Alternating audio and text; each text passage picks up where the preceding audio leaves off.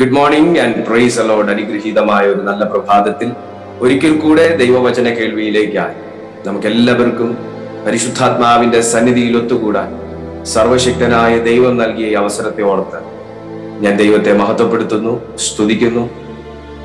വളരെ പ്രധാനപ്പെട്ട ഒരു ടോപ്പിക്കാണ് ഇന്ന് നാം സംസാരിക്കുന്നത്. ഒരു ക്രിസ്തീയ ജീവിതത്തിൽ ഒരു ദൈവ പൈതലിന് ഒഴിച്ചു മാറ്റാൻ പാടില്ലാത്തതും ഒഴിച്ചുകൂടാൻ കഴിയാത്തതുമായിട്ടുള്ള ഒരു കാര്യത്തെക്കുറിച്ചാണ് ഇന്ന് സംസാരിക്കുന്നത്. നമ്മുടെ ജീവിതത്തിൽ നാം അനുഗ്രഹിക്കപ്പെടണമെന്ന് ദൈവം ഏറെ ആഗ്രഹിക്കുന്നു. ദൈവം ഏറെ ആഗ്രഹിക്കും നമ്മെ അനുഗ്രഹിച്ചുകൊണ്ടാണ് ദൈവം ഈ ഭൂമിയിൽ സൃഷ്ടിച്ചത്. വളരെ ഭംഗിയും വളരെ സൗന്ദര്യവുമുള്ള മനുഷ്യരായി ദൈവം മനുഷ്യനെ സൃഷ്ടിച്ചു. പക്ഷേ ദൈവം മനുഷ്യനെ കണ്ടിരുന്നതും കാണുന്നതും ആത്മാവായിട്ടാണ്. കാരണം നാം നമ്മുടെ രൂപത്തിലും സാദൃശ്യത്തിലും മനുഷ്യനെ സൃഷ്ടിക്ക എന്ന് പറഞ്ഞ് ദൈവത്തിന്റെ രൂപവും സാദൃശ്യവും ആത്മാവിന്റെ രൂപവും സാദൃശ്യവുമായി. കർത്താവിനെ രൂപത്തിലും സാദൃശ്യത്തിലും നാം കണ്ടത് യേശു ക്രിസ്തുവിലൂടെയാണ് യേശു ക്രിസ്തുവിനെ കണ്ടിട്ടുള്ളവരെല്ലാം യേശു ക്രിസ്തുവിന്റെ രൂപവും സാദൃശ്യവും സ്വഭാവവും ഗുണവും മണവും എല്ലാം അറിഞ്ഞിരുന്നു. യേശുവായി വന്ന ആത്മാവായ ദൈവം ദൈവത്തിങ്കൽ നിന്ന് യേശുവായി വന്ന ദൈവത്താൽ അയക്കപ്പെട്ട യേശു എന്ന ആത്മാവായ ദൈവം. അങ്ങനെ തന്നെ പറഞ്ഞു ആ യേശുവിലൂടെയാണ് ദൈവത്തിന്റെ സ്വഭാവത്തെ മനുഷ്യൻ തിരിച്ചറിയുന്നത്. അതായത് ആത്മാവിന്റെ സ്വഭാവത്തെ യേശുക്രിസ്തുവിന്റെ ശരീരത്തിലൂടെയും വ്യക്തിത്വത്തിലൂടെയും ജീവിതത്തിലൂടെയും സ്വഭാവത്തിലൂടെയും മനുഷ്യൻ തിരിച്ചറിഞ്ഞു. ഇതായിരുന്നു ആത്മീയ സ്വഭാവം എന്ന് പറയുന്നത്. മനുഷ്യനുണ്ടായിരുന്ന സ്വഭാവം ആത്മാവിന്റെ സ്വഭാവം. കാരണം യേശു എന്തൊക്കെ ഈ ഭൂമിയിൽ ചെയ്തു എന്ന് പറയാൻ നമുക്ക് ഒത്തിരി ഉണ്ട്. പക്ഷെ എന്ത് ചെയ്തില്ല എന്ന് പറയാൻ ഒറ്റ വാക്ക് അവൻ പാപം ചെയ്തില്ല. അവൻ പാപം ചെയ്തില്ല. അവൻ ജനത്തെ ഉപദേശിച്ചു. അവൻ ജനത്തെ ശാസിച്ചു.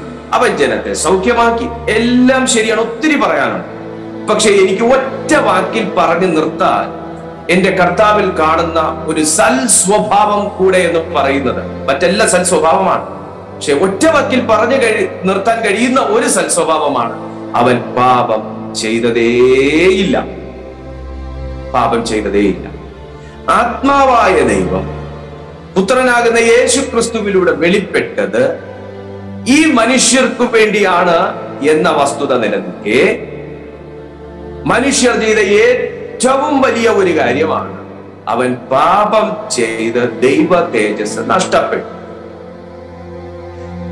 ആത്മാവിന്റെ സ്വഭാവം യേശുവിനുണ്ടായിരുന്നത് പോലെ നമുക്കുണ്ടായിരുന്നു എന്ന് മാത്രമല്ല നാം തേജസിന്റെ വസ്ത്രം ധരിച്ചിരുന്ന മനുഷ്യരായി. എനിക്ക് അത്തി ഇലകളെ തേടി പോകേണ്ട കാര്യമില്ലായിരുന്നു എന്ന് സാർ. പക്ഷേ മനുഷ്യൻ പാപം ചെയ്തു കഴിഞ്ഞപ്പോൾ ഞാൻ വളരെ ബ്രീഫായിട്ടാണ് പറയുന്നത്. ഇതൊന്നും ഒത്തിരി എക്സ്പ്ലെയിൻ ചെയ്യേണ്ട കാര്യമുണ്ടെന്ന് തോന്നുന്നില്ല. പക്ഷെ മനുഷ്യൻ പാപം ചെയ്തു കഴിഞ്ഞപ്പോൾ മനുഷ്യന് തേജസ്സിന്റെ വസ്ത്രം നഷ്ടപ്പെട്ടു. അത് കാണാൻ കഴിഞ്ഞില്ല എന്ന് മാത്രമല്ല അത് നഷ്ടപ്പെടുകയും ചെയ്തു. അതുകൊണ്ട് അവൻ ഓടി സ്വയം അന്വേഷണം തുടങ്ങി. സ്വയം അന്വേഷണം. എങ്ങനെ എന്റെ ഈ പ്രശ്നം പരിഹരിക്കാം എന്ന് അവൻ സ്വയം ചിന്തിക്കാൻ ആത്മാവിന്റെ ചിന്തയിലും കവറേജിലും ജീവിച്ചുകൊണ്ടിരുന്ന മനുഷ്യൻ എങ്ങനെ എനിക്ക് എങ്ങനെ എനിക്ക് how to do how can I do ഈ how to do how can I do അങ്ങോട്ട് സൃഷ്ടിക്കപ്പെട്ടു. ഇന്നും മനുഷ്യൻ ഇത് തന്നെ അന്വേഷിച്ചുകൊണ്ടിരിക്കുന്നു. എങ്ങനെ എനിക്ക് ദുഃഖത്തിൽ നിന്ന് പുറത്തു എങ്ങനെ എനിക്ക് പാപത്തെ ചെയ്യും എങ്ങനെ എനിക്ക് ഒരു ക്രിസ്തീയ ജീവിതം വിജയകരമായി how to do how to do how to do how can how can how can ഇങ്ങനെ ചോദിച്ചുകൊണ്ടേ ഇരിക്കേണ്ട ഒരു അവസ്ഥയിലേക്ക് മനുഷ്യൻ മാറ്റി മനുഷ്യൻ മാറ്റപ്പെട്ടു എന്നാൽ ഈ നഷ്ടപ്പെട്ടതിനെ മടക്കി തരാൻ വേണ്ടി വന്നവനാണ് നമ്മുടെ കർത്താവാകുന്ന യേശു ക്രിസ്തു ആ യേശു ക്രിസ്തു ഈ ഭൂമിയിൽ വന്ന് നമ്മെ ജീവിച്ചു കാണിച്ച് കൽപ്പനകൾ ജീവനോടിരിക്കവേ തന്നെ കയ്യിലേക്ക് ഏൽപ്പിച്ചിട്ട് താൻ സ്വർഗാരോഹണം ചെയ്തു.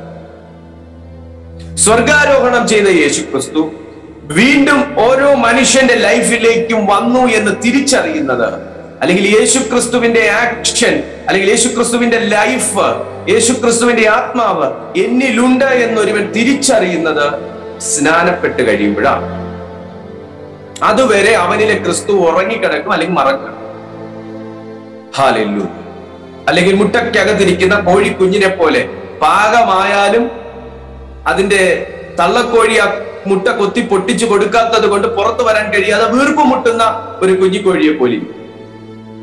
ഒന്ന് കൊട്ടി പൊട്ടിച്ചു കൊടുത്താൽ മതി. ആ തള്ളക്കോഴി ബാക്കി തനി അതിന്റെ ചുണ്ടുകൊണ്ട് അത് കൊട്ടി പൊട്ടിച്ച് പുറത്തു വന്നു. ക്ലിയർ സോ യേശുക്രിസ്തു ഈ ഭൂമിയിൽ വന്ന മനുഷ്യനെ ആദ്യം പഠിപ്പിച്ച കാര്യം ദൈവരാജ്യത്തെ കുറിച്ച് ദൈവരാജ്യം കാണാൻ വീണ്ടും ജനിക്കണമെന്ന് പറഞ്ഞു. പക്ഷേ നമുക്ക് ദൈവരാജ്യം കണ്ടാൽ മതി. വീണ്ടും ജനനത്തെ കുറിച്ച് ആരും അധികം പറയുന്നു പക്ഷെ ദൈവരാജ്യം കാണണമെങ്കിൽ ദൈവരാജ്യത്തിൽ കടക്കണമെങ്കിൽ അതുപോലെ സ്വർഗരാജ്യത്തിലും കടക്കണമെങ്കിൽ ഒരു മനുഷ്യൻ വീണ്ടും ജനിക്കേണ്ടത് അത്യാവശ്യമാണ്. വീണ്ടും ജനനം വളരെ അത്യാവശ്യം മർക്കോസ് എഴുതിയ സുവിശേഷം അതിന്റെ ഒന്നാമത്തെ അധ്യായം ഒന്നാമത്തെ വാക്യം മുതൽ വായി ദൈവപുത്രനായ യേശു ക്രിസ്തുവിന്റെ സുവിശേഷത്തിന്റെ ആരംഭം ഒരു പുതിയ സുവിശേഷം നമ്മെ ഏൽപ്പിക്കാൻ വേണ്ടിയാണ് കർത്താവായ യേശു ക്രിസ്തു ഈ ഭൂമിയിലേക്ക് വന്നത്. ഒരു പുതിയ സുവിശേഷം ആരംഭം എന്ന് പറയുമ്പോൾ ഒന്നിനെ അവസാനിപ്പിച്ചിട്ടോ അല്ലെങ്കിൽ വീണ്ടും പുതിയതായി തുടങ്ങിയതിന്റെയോ പദമാണ് ആരംഭം. ഞാനൊന്ന് പുതുതായി തുടങ്ങിയതിനെ ആരംഭം എന്ന് പറയാം. അല്ലെങ്കിൽ ഉള്ള ഒന്നിനെ ക്ലോസ് ചെയ്തിട്ട് ഞാൻ വീണ്ടും ഒന്ന് റീസ്റ്റാർട്ട് ചെയ്തതിനെയും എനിക്ക് ആരംഭം എന്ന് പറയാം. ഇവിടെ ഉള്ള ഒന്നിനെ ക്ലോസ് ചെയ്തിട്ട് വീണ്ടും തുടങ്ങിയ ഒന്നിനെയാണ് അവിടെ ബിഗിനിങ് എന്ന് പറയുന്നത്. The beginning of the gospel of Jesus Christ the son of God ഇത് മർക്കോസിന്റെ സുവിശേഷം. ഒന്നാം അധ്യായം അതിന്റെ ഒന്നാമത്തെ വാക്യത്തിൽ തുടങ്ങുമ്പോ തുടങ്ങുമ്പോ. Genesis chapter one verses one ഉൽപ്പത്തി പുസ്തകം ഒന്നാം അധ്യായം ഒന്നാമത്തെ വാക്യത്തിൽ ഇങ്ങനെ എഴുതുന്നു. In the beginning of in the beginning God created the heaven and the earth ആദിയിൽ ദൈവം ആകാശവും ഭൂമിയും സൃഷ്ടിച്ചു. ഇൻ ദ ബിഗിനിങ് അവിടെയും ഒരു തുടക്കം. അവിടെയും ഒരു തുടക്കം. ഭൂമിയുടെ തുടക്കം മനുഷ്യന്റെ തുടക്കം ജന്തുജാലങ്ങളുടെ തുടക്കം എല്ലാത്തിന്റെയും തുടക്കം. തുടക്കം ഭംഗിയായിരുന്നെങ്കിലും ഒടുക്കം വല്ലാത്ത അവസ്ഥയാണ്. അല്ലെങ്കിൽ അതിന്റെ മധ്യഭാഗം വല്ലാത്ത അവസ്ഥയാണ്.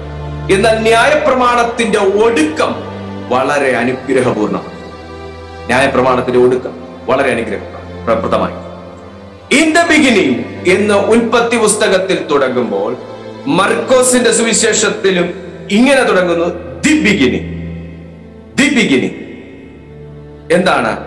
The beginning of the gospel ഒരു പുതിയ സുവിശേഷത്തിന്റെ തുടക്കം. പുതിയ വിശ്വാസികൾ പുതിയ നിയമവിശ്വാസികൾ പുതിയ നിയമം എന്ന് തന്നെ പറയുന്നത് ഇതിലേക്ക് വരുന്ന ഏതൊരു പഴയവനും പുതിയതാക്കുന്ന ഒരു സുവിശേഷം. ഏതൊരു പഴയവനെയും ഏതൊരു പഴയ മനുഷ്യനെയും ഏതൊരു പഴയ മനുഷ്യന്റെ ജീവിതത്തെയും പുതിയതാക്കുന്ന ക്രിസ്തുവിന്റെ സുവിശേഷം. ഈ സുവിശേഷത്തിന്റെ ആരംഭം. രണ്ടാമത്തെ വാക്യം. ഞാൻ നിനക്ക് മുമ്പായി എന്റെ ദൂതനെ അയക്കുന്നു. അവൻ നിന്റെ വഴി ഒരു മൂന്നാമത്തെ വാക്യം. കർത്താവിന്റെ വഴി ഒരുക്കുവിൻ അവന്റെ പാത നിരപ്പാക്കുവിൻ എന്ന്. മരുഭൂമിയിൽ വിളിച്ചു പറയുന്നവന്റെ വാക്ക് എന്നിങ്ങനെ യശയ്യ പ്രവാചകന്റെ പുസ്തകത്തിൽ എഴുതിയിരിക്കുന്നത് പോലെ. യോഹന്നാൻ വന്നു മരുഭൂമിയിൽ സ്നാനം കഴിപ്പിച്ചും പാപമോചനത്തിനായുള്ള മാനസാന്തര സ്നാനം പ്രസംഗിച്ചുകൊണ്ടും ഇരുന്നു. യോഹന്നാൻ കർത്താവിന്റെ വഴി ഒരുക്കുവാൻ ദൈവത്താൽ അയക്കപ്പെട്ട ഒരു മനുഷ്യനാണ്. യോഹന്നാനാണ് ആദ്യമായി സ്നാനം കഴിപ്പിച്ചുകൊണ്ടിരുന്നത്. മാനസാന്തര സ്നാനം. മാനസാന്തര സ്നാനം. എന്ന് വെച്ചാൽ യോഹന്നാനെ കൊണ്ട് ദൈവം അരുളി ചെയ്ത വചനത്തിന് ഒരു മനുഷ്യനിൽ പാപബോധം ഉളവാക്കാൻ മാത്രമേ സാധിച്ചിരുന്നുള്ളൂ. ഇന്നും സുവിശേഷം നിങ്ങൾ കേട്ടുകൊണ്ടിരിക്കുമ്പോൾ നിങ്ങളിൽ പാപബോധം ഉളവാകുന്നു. പാപബോധം നിങ്ങളിൽ ഉളവാകുന്നു. പക്ഷെ നിങ്ങൾക്ക് പാപത്തെ ജയിക്കാൻ കഴിയുന്നുണ്ടോ? സുവിശേഷം നിങ്ങൾ കേൾക്കുമ്പോൾ നിങ്ങൾക്ക് സ്വർഗമുണ്ടെന്നും നരകമുണ്ടെന്നും നിങ്ങൾക്ക് മനസ്സിലാകുന്നു. പക്ഷെ നിങ്ങൾക്ക് സ്വർഗത്തിലേക്കുള്ള പ്രവേശനം ഉറപ്പിക്കാൻ സാധിക്കുന്നുണ്ടോ? സുവിശേഷത്തെ കുറിച്ച് നിങ്ങൾ പ്രസംഗിച്ച് കേൾക്കുമ്പോൾ ആ കർത്താവായ യേശു ക്രിസ്തു ജീവനുള്ള ദൈവം എന്ന് നിങ്ങൾ അറിയുന്നു. അവൻ രോഗികളെ സൗഖ്യമാക്കുന്നു എന്ന് നിങ്ങൾ അറിയുന്നു. കുരുടന്റെ കണ്ണു തുറക്കുന്നു എന്ന് അറിയുന്നു അവൻ പാപികൾക്ക് വേണ്ടി വന്നു എന്നും നിങ്ങൾ അറിയുന്നു. പക്ഷേ നിങ്ങൾക്ക് ആ വീണ്ടും ജനനത്തിന്റെ അനുഭവം യേശു പഠിപ്പിച്ചു എങ്കിലും അത് അനുഭവിക്കാൻ ജനനത്തിന്റെ അനുഭവം നിങ്ങൾക്കുണ്ടാകുന്നുണ്ടോ? ഒരുവൻ ക്രിസ്തുവിനായാൽ അവൻ പുതിയ സൃഷ്ടി എന്ന ലേഖനങ്ങളിൽ പറയുന്നു എന്ന് നിങ്ങൾ അറിയുന്നു. പക്ഷേ പുതിയ സൃഷ്ടിയുടെ അനുഭവം നിങ്ങളിൽ ഉണ്ടാകുന്നുണ്ടോ? എന്തുകൊണ്ടാണ് പാപത്തിന്റെ പാപബോധം നമ്മിൽ ഉളവായിട്ടും പാപത്തെ ജയിക്കാൻ കഴിയാത്തത് ശാപബോധ ശാപത്തെ കുറിച്ചുള്ള ശാപമോചനത്തെ കുറിച്ചുള്ള അറിവുകൾ ലഭിച്ചിട്ടും പൂർണമായും ശാപത്തിൽ നിന്ന് പുറത്തു വരാൻ കഴിയാത്തത്. എന്തുകൊണ്ടാണ് പല കാര്യങ്ങൾ സുവിശേഷത്തിൽ നിന്ന് കേട്ടിട്ടും ഇതൊക്കെ ഒരു ഹിസ്റ്ററി പോലെ എനിക്ക് തോന്നുന്നതല്ലാതെ എന്റെ ജീവിതത്തിലെ ഒരു റിയാലിറ്റിയായി എനിക്ക് കൊണ്ടുവരാൻ അതെന്റെ ജീവിതത്തിൽ പ്രാബല്യത്തിൽ വരുത്താൻ എനിക്ക് കഴിയാത്തത്? അതിന്റെ പിന്നിലെ പ്രധാന കാരണം മാനസാന്തര സ്നാനത്തിനകത്ത് നിങ്ങൾ സ്കോർ ചെയ്ത് നിൽക്കുന്നു എന്നുള്ളത് കൊണ്ടാണ്. മാനസാന്തര സ്നാനം. സുവിശേഷം കേട്ടാൽ ഏതൊരു ജീവനുള്ളവനും മാനസാന്തരം ഉണ്ടാകും എത്ര ദൈവ വിശ്വാസമില്ലാത്ത മനുഷ്യരും. ഇത് ശരിയല്ലേ? എന്ന് അവന്റെ അന്തരാത്മാവിൽ തോന്നിച്ചിട്ടുടനെ അവന്റെ ബുദ്ധി അവനോട് പറയും വേണ്ട ഞാനൊരു യുക്തിവാദി എന്ന് പറയും. ഏതൊരു മനുഷ്യനും ഇത് ശരിയല്ലേ എന്ന് തോന്നുന്ന തരത്തിൽ ദൈവ നിശ്വാസീയമായതാണ് ദൈവം. സോ യോഹന്നാനെ ദൈവം അയച്ചത് മരുഭൂമിയിൽ സ്നാനം കഴിപ്പിക്കാനാണ്. എന്തിനായിട്ടുള്ള പാപമോചനത്തിനായിട്ടുള്ള സ്നാനം പ്രസംഗിച്ചു കൊണ്ടിരുന്നു പ്രസംഗിച്ചുകൊണ്ട് അവന്റെ അടുക്കൽ യഹൂദ്യ ദേശമൊക്കെയും എരിശിലേമ്യർ എല്ലാവരും വന്ന് പാപങ്ങളെ ഏറ്റുപറഞ്ഞ് യോർധാൻ നദിയിൽ അവനാൽ സ്നാനം കഴിഞ്ഞു. എന്നിട്ടും സ്നാനം കഴിഞ്ഞിട്ടും അതിനകത്ത് നിന്ന് പിന്മാറിപ്പോയവരുണ്ട്. സ്നാനം കഴിഞ്ഞിട്ട് വിട്ടുപോയവരുണ്ട്. സ്നാനം കഴിഞ്ഞിട്ടും വിടുവിക്കപ്പെടാത്തവരുണ്ട്. സ്നാനം കഴിഞ്ഞിട്ടും നിലനിൽക്കാൻ സാധിക്കാത്തവർ എന്നാൽ അവർ യോഹന്നാന്റെ മുമ്പിൽ വന്നാണ് പാപമേറ്റു പറയുന്നത്. താഴേക്ക് വായിക്കുമ്പോൾ യോഹന്നാന് ഒട്ടകരോമം കൊണ്ടുള്ള ഉടുപ്പും അരയിൽ തോൽവാറും ധരിച്ചും വെട്ടുക്കിളിയും കാട്ടുതേനും ഉപജീവിച്ചു പോന്നു. യോഹന്നാന്റെ ഭക്ഷണത്തെ കുറിച്ചാണ് അവിടെ പറഞ്ഞത്. വെട്ടുക്കിളിയും കാട്ടുതേ പക്ഷെ യോഹന്നാൻ അതിശക്തമായി വിളിച്ചു പറയുന്ന അടുത്തൊരു സാക്ഷ്യം ഏഴാമത്തെ എന്നിലും ബലമേറിയവൻ എന്റെ പിന്നാലെ വരുന്നു. അവന്റെ ചെറുപ്പിൻ ചെരുപ്പിന്റെ വാറ് കുനിഞ്ഞഴിപ്പാൻ ഞാൻ യോഗ്യനല്ല. ദൈവ സന്നിധിയിലൊന്നും കുമ്പിടാൻ പോലും യോഗ്യനല്ലാത്ത ഞാനാണ് ഇന്ന് മാനസാന്തര സ്നാനം കഴിപ്പിച്ചുകൊണ്ടിരിക്കുന്നത്. പക്ഷേ എന്നെ അതിന് യോഗ്യനായി നിർത്തിയത് കൊണ്ടാണ് ഞാൻ ഈ മാനസാന്തര സ്നാനം നൽകുവാൻ യോഗ്യനെന്ന് എണ്ണിയിരിക്കും പ്രിയപ്പെട്ടവരെ യോഹന്നാനും പാപത്തിൽ ജനിക്കപ്പെട്ട അല്ലെങ്കിൽ ഒരു പച്ചയും നീരുമുള്ള ഒരു മനുഷ്യൻ തന്നെയാണ് യോഹന്നാൻ. പക്ഷെ തന്നെ അതിന് നിയോഗിച്ചതും തന്നെ അതിന് ശക്തനാക്കിയതും ദൈവത്തിന്റെ ആത്മാവ്. എന്നതുപോലെ എന്നിട്ടും യോഹന്നാൻ പറയുന്നു ഇല്ലില്ല എനിക്ക് പിന്നാലെ വരുന്നവന്റെ മുന്നിൽ കുനിഞ്ഞു നിൽക്കാൻ പോലും അവന്റെ കുനിഞ്ഞ് അവന്റെ ചെരുപ്പിന്റെ വാറഴിപ്പാൻ പോലും എനിക്ക് യോഗ്യതയില്ലെന്ന് സ്നാനപ്പെടുത്തുന്നവൻ തന്നെ സാക്ഷ്യം പറയും. എനിക്ക് യോഗ്യതയില്ല. അപ്പൊ ഞാൻ യോഗ്യതയോടെ അല്ല ഞാൻ നിങ്ങളെ സ്നാനപ്പെടുത്തുന്നത്. നിങ്ങൾ എന്റെ മുമ്പിൽ പാപം ഏറ്റു പറയുന്നെങ്കിൽ ഈ പാപം മുഴുവൻ ദൈവസന്നിധിയിൽ ഏറ്റു പറയും പറയുന്നതിന് തുല്യമായി തീരട്ടെ എന്ന് മാത്രം പ്രാർത്ഥിച്ചുകൊണ്ടാണ് ഞാൻ നിങ്ങളെ സ്നാനം ഏൽപ്പിക്കുന്നത്. പക്ഷേ എന്റെ പിന്നാലെ മറ്റൊന്ന് സ്നാനപ്പെടുത്തുന്നവൻ മറ്റൊരുവൻ വരുന്നുണ്ട് സ്നാനപ്പെടുത്തും അവൻ നിങ്ങളെ ഞാൻ നിങ്ങളെ വെള്ളത്തിൽ സ്നാനം കഴിപ്പിക്കും. അവനോ നിങ്ങളുടെ പരിശുദ്ധാത്മാവിൽ സ്നാനം കഴിപ്പിക്കും എന്ന് അവൻ പ്രസംഗിച്ചു പറഞ്ഞു. പ്രസംഗിച്ചു പ്രിയപ്പെട്ടവരെ യോഹന്നാൻ കഴിപ്പിച്ച സ്നാനം യേശു കഴിപ്പിക്കാൻ ഉദ്ദേശിക്കുന്ന സ്നാനം. യോഹന്നാൻ കഴിപ്പിച്ച സ്നാനം അവിടെ അപൂർണമായിരിക്കുമ്പോൾ അല്ലെങ്കിൽ ഭാഗികമായിരിക്കുമ്പോൾ അതിനെ പൂർത്തീകരണത്തിലേക്ക് വരുത്തുന്നവനാകുന്നു കർത്താവായ യേശു ക്രിസ്തു പരിശുദ്ധാത്മാവിന്റെ സ്നാനം. ഇന്ന് സ്നാനപ്പെട്ട എല്ലാവരും പരിശുദ്ധാത്മ സ്നാനം പ്രാപിച്ചവരാണെന്ന് പറയാൻ നമുക്ക് കഴിയുകയും നിങ്ങൾ സ്നാനം കഴിഞ്ഞിട്ടുണ്ടായിരിക്കാം. നിങ്ങൾ പരിശുദ്ധാത്മ സ്നാനം പ്രാപിക്കാത്ത വ്യക്തിയുമായി. സ്നാനം കഴിഞ്ഞിട്ടും അന്യഭാഷ ലഭിക്കാത്ത ഒരു വ്യക്തിയായിരിക്കാം. ആത്മനിറവോടുകൂടെ ദൈവത്തെ ആരാധിക്കാൻ കൊതിയുള്ള ഒരു വ്യക്തിയായിരിക്കാം. നിങ്ങൾക്ക് പ്രത്യാശയ്ക്ക് വകയോ നിങ്ങൾക്ക് വിശ്വസിക്കാൻ വകയോ നിങ്ങൾ ഇന്ന് വിശ്വസിക്കുന്നുവെങ്കിൽ നിങ്ങളുടെ നാവിനെ പരിശുദ്ധാത്മാവ് കൊടിൽ കൊണ്ട് തൊടും. ഹല്ലേലൂയ. നിങ്ങളുടെ നാവിനെ അവൻ ഇന്ന് സ്പർശിക്കും. നിങ്ങൾ സ്നാനപ്പെട്ട ഒരു വ്യക്തിയാണെങ്കിൽ അന്യഭാഷ അടയാളത്തോടുകൂടെ നിങ്ങൾക്ക് ദൈവത്തെ ആരാധിക്കാൻ സ്നാനപ്പെടാത്തവരിലും പരിശുദ്ധാത്മാവ് പകരുന്നു. അത് അവന്റെ സ്നേഹത്താലും അവനോടുള്ള ദാഹത്താലും ദൈവം ചെയ്യുന്നതാണ്. അവന്റെ സ്നേഹത്താലും അവനോടുള്ള ദാഹത്താലും ദൈവം ചെയ്യുന്നതാണ്. സ്നാനപ്പെടാതെയും പരിശുദ്ധാത്മ നിറവിൽ അന്യഭാഷ അടയാളത്തോടെ പ്രാർത്ഥിക്കുന്ന സഹോദരങ്ങളെ എനിക്കറിയാം. അതിനുശേഷം അവർ സ്നാനപ്പെട്ടു. അത് വേറെ കാര്യം. അങ്ങനെ പ്രാപിച്ചിട്ടും സ്നാനപ്പെടാതിരിക്കുന്നവർ ഇതിനകത്തുണ്ടെങ്കിൽ എനിക്ക് അറിയത്തില്ല ഉണ്ടെങ്കിൽ നിങ്ങൾ നിശ്ചയമായും വെള്ളത്തിൽ മുങ്ങി പൊങ്ങി തന്നെ സ്നാനമെടുക്കേണ്ടത് യോഹന്നാന്റെ സുവിശേഷം മൂന്നാം അധ്യായം അതിന്റെ പതിനാറാമത്തെ. യോഹന്നാന്റെ സുവിശേഷം മൂന്നാം അധ്യായം അതിന്റെ പതിനാറാമത്തെ. എന്തിനു വേണ്ടിയിട്ടാണ് സ്നാനം നാം എടുക്കുന്നത് തന്റെ ഏകജാതനായ പുത്രനിൽ വിശ്വസിക്കുന്ന ഏവനും നശിച്ചു പോകാതെ നിത്യജീവൻ പ്രാപിക്കേണ്ടതിന് ദൈവം അവനെ നൽകുവാൻ തക്കവണ്ണം ലോകത്തെ സ്നേഹിച്ചു. ദൈവം തന്റെ പുത്രനെ ലോകത്തിൽ അയച്ചത് ലോകത്തെ വിധിപ്പാനല്ല ലോകം അവനാൽ രക്ഷിക്കപ്പെടുവാൻ അത്ര രക്ഷപ്പെടാനല്ല രക്ഷിക്കപ്പെടാനാണ് ദൈവം പുത്രനെ ലോകത്തിലേക്ക് അയച്ചത്.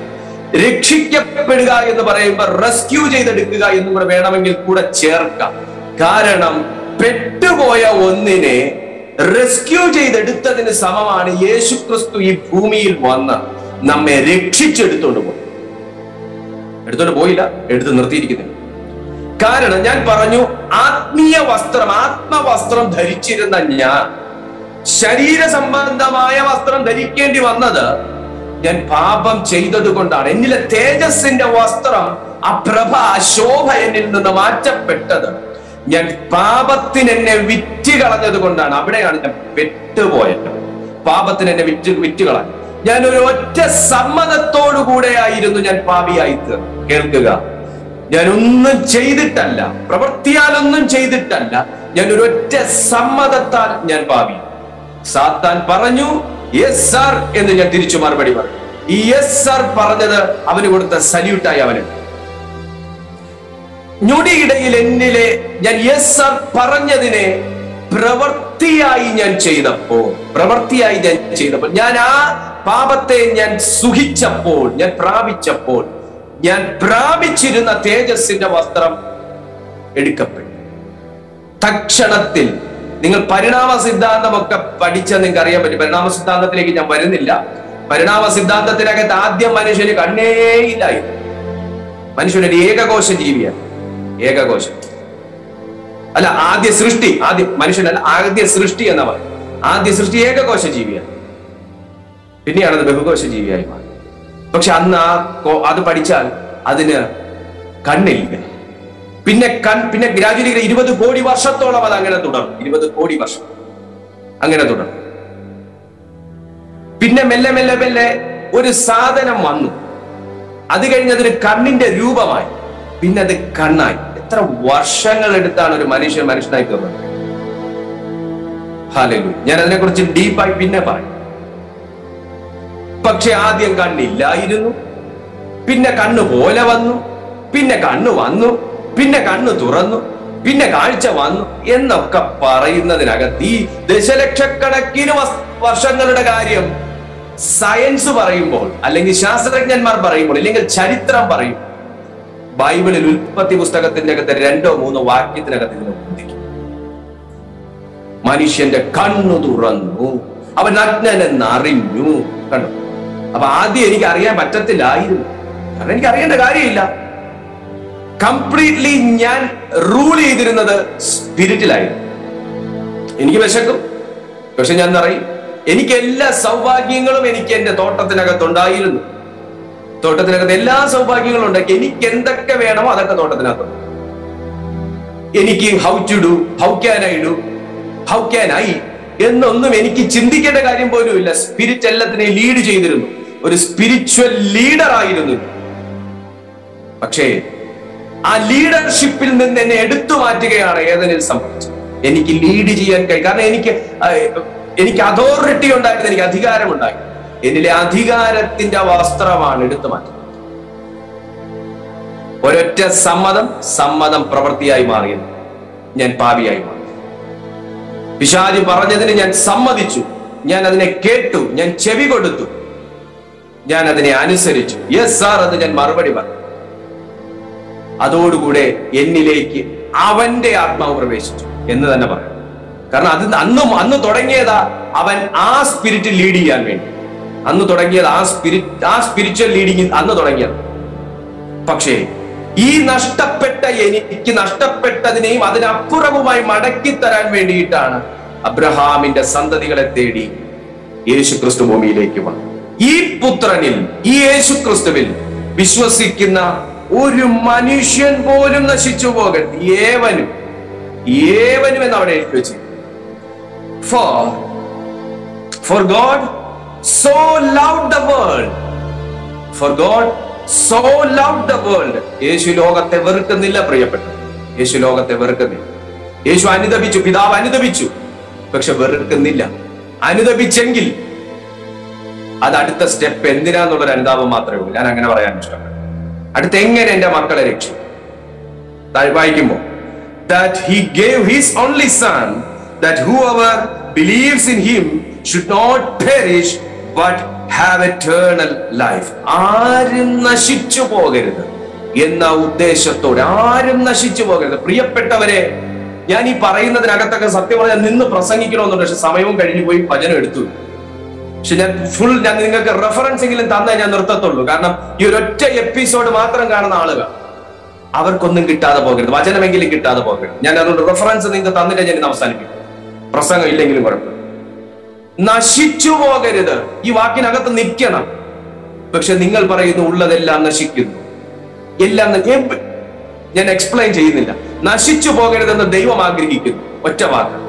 പിന്നെ എന്തുകൊണ്ട് നിങ്ങൾക്കുള്ളത് നശിക്കുന്നു എന്തുകൊണ്ട് നിങ്ങളുടെ ആത്മീയ ജീവിതം നശിക്കുന്നു? എന്തുകൊണ്ട് നിങ്ങളുടെ സ്വഭാവം നശിക്കുന്നു? സമ്പത്ത് നശിക്കുന്നു ആരോഗ്യം നശിക്കുന്നു സമാധാനം നശിക്കുന്നു സ്വസ്ഥത നശിക്കുന്നു. എല്ലാം നശിച്ച് നശിച്ച് നശിച്ച് തന്നെ അല്ലേ പൊക്കൊണ്ടിരിക്കുന്നത്? എന്തുകൊണ്ട്? മരണം വാഴുന്നത്. മരണം വാഴുന്നത്. ഏതനിൽ സംഭവിച്ച ആത്മീയ മരണം അവിടെ നിന്ന് സകലമേ ഈ വേൾഡിൽ തന്നെ ആ മരണം വ്യാപിച്ചു. വേൾഡിൽ തന്നെ മരണം. ലോകത്ത്. സകലത്തിന്റെ പേരും മനുഷ്യൻ മാത്രമല്ല മരിക്കുന്നത് നട്ടുവെക്കുന്ന ചെടിയും മരിച്ചു പോകുന്നു. ഒരു ബട്ടർഫ്ലൈ പോലും ജനിച്ചു കഴിഞ്ഞാൽ അതിനും അടുത്ത ദിവസം മരണം സംഭവിക്കുന്നു ഈ ഭൂമിയിൽ ഞാൻ എന്തെങ്കിലും കുക്ക് ചെയ്ത് വെച്ചാൽ ഭക്ഷണ സാധനം കുക്ക് ചെയ്ത് വെച്ചാൽ അടുത്ത നിമിഷം അതും ചളിച്ച് നശിച്ചു പോകുന്നു. ആ എല്ലാം നശിച്ചു പോകുന്നത് പോലത്തെ അവസ്ഥ. ഞാൻ കുക്ക് ചെയ്താലും നശിക്കുന്നു ഞാൻ പണിതാലും നശിക്കുന്നു ഞാൻ നട്ടാലും നശിക്കുന്നു ഞാൻ ജനിച്ചാലും മരിക്കുന്നു. മരണം. സകലത്തിന്റെ മേലും മരണം. എന്തായാലും ഞാൻ ജനിച്ചതുപോലല്ല ഇപ്പോ. ഞാൻ ജനിച്ചപ്പോ എന്റെ എന്റെ ശരീരത്തിൽ ഒരു ചുളിവും ഇല്ലായിരുന്നു എന്റെ സ്കിന്നിന്റെ കാര്യമാണ് പറയുന്നത്. അല്ല കൈക്കുള്ളിലൊക്കെ ചുളിവുണ്ട് അതല്ല പറയുന്നത്. സ്കിന്നിൽ ഒരു ചുളിവും ഇല്ല പക്ഷെ ഞാൻ പ്രായമേറി ഏറി ഏറി ഏറി വരുമ്പോ എന്റെ സെല്ലുകൾ മരിച്ചു മരിച്ചു മരിച്ചു മരിച്ചു കൊണ്ടേയിരിക്കുന്നു. എങ്കിൽ പുതിയ സെല്ലുകൾ എന്നിൽ രൂപപ്പെടുന്നത് കൊണ്ടാണ് വീണ്ടും ഞാൻ പുതിയ മനുഷ്യനായി തന്നെ ഇരിക്കുന്നത്.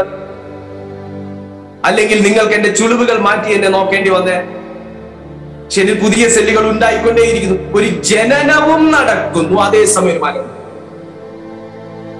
ഒരേ സമയം ഒരു ഇതൊരു ഇതൊരു സൈനാണ് പ്രിയപ്പെട്ടത് ഒരു മനുഷ്യൻ എന്നും ജീ ജനിച്ചുകൊണ്ടും അതുപോലെ മരിച്ചുകൊണ്ടും ഇരിക്കുന്നു ശരീര സംബന്ധം എന്റെ ശരീരത്തിലെ സെല്ലുകൾ മരിക്കുന്നതോടൊപ്പം തന്നെ എന്റെ ശരീരത്തിലെ സെല്ലുകൾ വീണ്ടും പുനരുജ്ജീവിപ്പിച്ചുകൊണ്ടും ഇരിക്കുന്നു. പുനരുൽപ്പ- പുതിയത് ഉത്പാദിപ്പിച്ചുകൊണ്ടും ഇരിക്കുന്നു. ഹാലല്ലു അതുകൊണ്ടാണ് നിങ്ങളുടെ ശരീരം ഒന്ന് മുറിഞ്ഞ് അവിടുത്തെ സ്കിന്ന് പോയാൽ ഒരാഴ്ച കഴിയുമ്പോൾ പുതിയത് അവിടെ ലെയർ കവർ ചെയ്തു വരുന്നു നിങ്ങൾ പുതിയൊരു ശരീരമുള്ളവരായി. പുതിയൊരു സ്കിൻ അവിടെ വരികയും ഒരേ സമയം മരണവും അതേസമയം ജനനവും നടക്കുന്ന ഒരു ഒരു അത്യത്ഭുത പ്രതിഭാസമാണ് മനുഷ്യ ശരീരം. ഈ ശരീരത്തെ ദൈവം സ്നേഹിക്കും. ഈ പ്രപഞ്ചത്തെയും ദൈവം സ്നേഹിക്കും. സോ എല്ലായിടവും മരണം സംഭവിക്കുന്ന സകല സൃഷ്ടികളുടെ മേലും പാപത്തിന്റെ ഉടയവൻ പാപത്തിന്റെ ശക്തി വ്യാപരിച്ചത് കൊണ്ട് പാപത്തിന്റെ ശമ്പളമായ മരണം സകലത്തിന്റെ മേലും വിതയ്ക്കപ്പെടും. ഇതിന്റെ അകത്തു നിന്ന് പുറത്തു വരാൻ സസ്യങ്ങൾക്ക് ദൈവം അനുമതി കൊടുത്തി മൃഗങ്ങൾക്ക് ദൈവം അനുമതി കൊടുത്തി കാരണം സസ്യങ്ങളെയും മൃഗങ്ങളെയും സൃഷ്ടിച്ചതുപോലെ അല്ല മനുഷ്യനെ ദൈവം സൃഷ്ടിച്ചത്. മനുഷ്യന് ദൈവം അനുമതി ഈ മരണത്തിന്റെ അവസ്ഥയിൽ നിന്ന് പുറത്തു വരാൻ ദൈവം മനുഷ്യൻ അവസരം കാരണം മനുഷ്യനിലാണ് ദൈവത്തിന്റെ ആത്മാവിനെ ഊതിയത്. അതിനെ അങ്ങനെ കളയാൻ പറ്റില്ല. മനുഷ്യനെ അങ്ങനെ കളയാൻ പറ്റില്ല. വീണ്ടും ജീവിപ്പിക്കാൻ ദൈവത്തിന് ഇഷ്ടം സോ ഈ ജീവിപ്പിക്കപ്പെടുക രക്ഷിക്കപ്പെടുക എന്ന് പറയുന്നത് ഏകനിൽ മാത്രം സെൻട്രലൈസ് ചെയ്ത് സ്വർഗം നിർത്തും. ഏകനിൽ മാത്രം. കാരണം പതിനാറെണ്ണം വന്ന് തെറ്റിച്ച് കളയാതെ പതിനാറെണ്ണം വന്ന് തെറ്റിച്ച് കളയാതെ ഏകനിൽ കൊണ്ട് ദൈവം സെൻട്രലൈസ് ചെയ്ത് നിർത്തി രക്ഷ ഏകനാൽ മാത്രമേ സാധ്യമാകൂ. അതിനി എന്ത് രക്ഷയുമായിക്കോ? എന്ത് രക്ഷയുമായിക്കോ?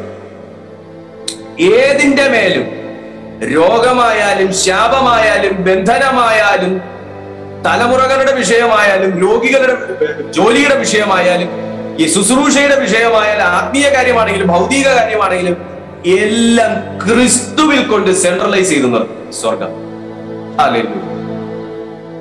ആദമിൽ സെൻട്രലൈസ് ചെയ്ത് നിർത്തിയതിനെ രണ്ടാം ആദമായ ക്രിസ്തുവിൽ കൊണ്ട് സെൻട്രലൈസ് ചെയ്തു. നിർത്തി ആദം അവിശ്വസ്തനായിരുന്നെങ്കിൽ രണ്ടാം ആദമായ ക്രിസ്തു വിശ്വസ്തൻ.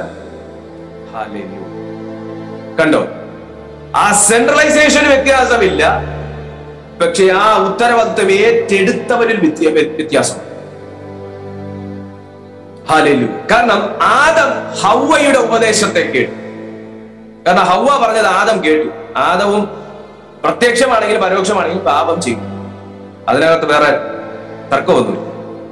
പക്ഷേ രണ്ടാം ആദമായ ക്രിസ്തു ഉപദേശം കേട്ടിട്ടുണ്ടെങ്കിൽ ഗുരുക്കന്മാരുടെ കീഴിൽ പോയിട്ട് നല്ല ഉപദേശം കേട്ടത് താൻ ഇട്ട ഉപദേശം കേട്ടു. ഉയരത്തിൽ. ഇത് ദൈവം സകല മനുഷ്യരെ കുറിച്ചും ആഗ്രഹിക്കും ഇത് ക്രിസ്തുവിന് സാധിച്ചത് ഇത് യേശുവിന് സാധിച്ചത് താൻ ക്യാരി ചെയ്തിരുന്ന ആത്മാവ് വേറെയായി.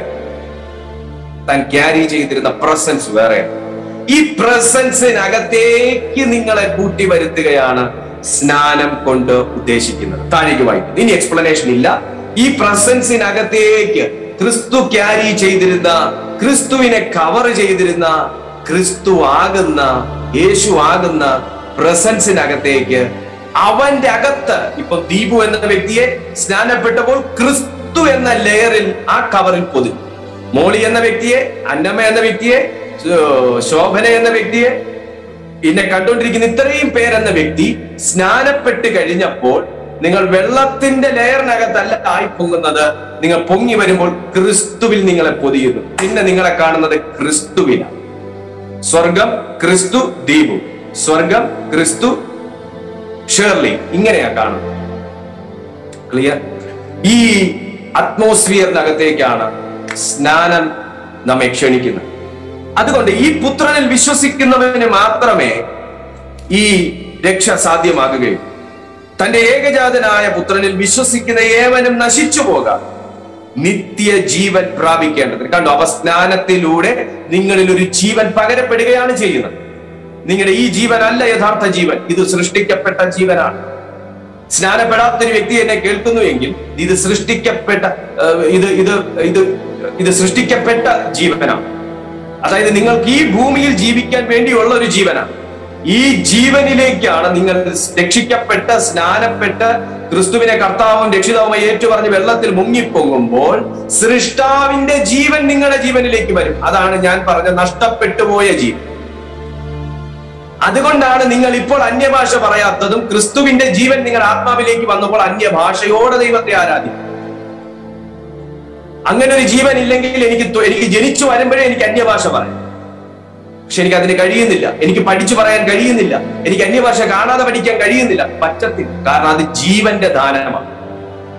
സുരക്ഷിക്കപ്പെട്ട് വരുന്ന എനിക്ക് സ്നാനപ്പെട്ട് വരുന്ന എന്റെ ജീവനിലേക്ക് ക്രിസ്തുവിന്റെ ജീവൻ റിലീസ് ചെയ്യുമ്പോൾ എന്നിൽ പുതിയ തലം തുറക്കപ്പെടും. ഒരു പുതിയ ജീവന്റെ അനുഭവം എന്നിൽ തുറക്കപ്പെടുന്നതിന്റെ ഒറ്റ മാത്രമാണ്. ഒരേ ഒരു ഫലം മാത്രമാണ് അന്യഭാഷ എന്ന് പറയുന്നത്. അതിന്റെ മറ്റു ഫലങ്ങൾ വേറെയുണ്ട് നിങ്ങൾക്കറിയാം. അവൻ നശിച്ചു പോകാതെ നിത്യജീവൻ പ്രാപിക്കേണ്ടതിന് ദൈവം അവനെ നൽകുവാൻ തക്കവണ്ണം ലോകത്തെ സ്നേഹിച്ചു. ദൈവം തന്റെ പുത്രനെ ലോകത്തിൽ അയച്ചത് ലോകത്തെ വിധിപ്പാനല്ല ലോകം അവനെ രക്ഷിക്കപ്പെടുവാൻ. നിങ്ങളെ പാപത്തിൽ നിന്നും ശാപത്തിൽ നിന്നും രോഗത്തിൽ നിന്നും ദുരന്തത്തിൽ നിന്നും ദുരിതത്തിൽ നിന്നും രക്ഷിച്ചെടുത്തിരിക്കുകയാണ്. സ്നാനപ്പെടുന്നതിലൂടെ ഈ രക്ഷിച്ചെടുത്തിരിക്കുന്നതിന്റെ ഫലം നിങ്ങളിൽ പ്രാബല്യത്തിൽ. എന്തുകൊണ്ട് ഞാൻ സ്നാനപ്പെടണം? ഞാൻ എന്തുകൊണ്ട് സ്നാനപ്പെടണം? റോമർക്ക് എഴുതിയ ലേഖനം മൂന്നാം അധ്യായം ഇരുപത്തി മൂന്നാമത്തെ വാക്യം. ഞാൻ വേഗത്തിൽ റോമർ എഴുതിയ ലേഖനം മൂന്നാം അധ്യായം അതിന്റെ ഇരുപത്തി മൂന്നാമത്തെ വാക്യം. വളരെ ബ്രീഫ് ചെയ്താണ് ഈ ഒരു ഈ ഒരു മെസ്സേജ് എടുക്കുന്നത്. വളരെ ബ്രീഫ് ചെയ്ത് ഇരുപത്തിമൂന്നാമത്തെ വാക്യത്തിൽ ഇങ്ങനെ പറയുന്നു.